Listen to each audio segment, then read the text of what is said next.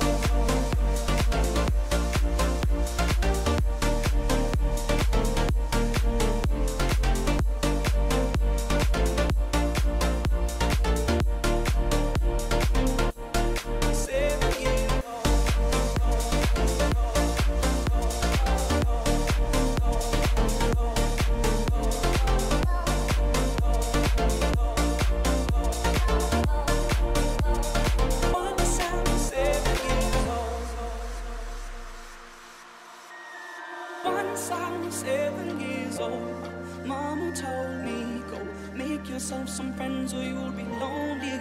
Once I was seven years old. So, so.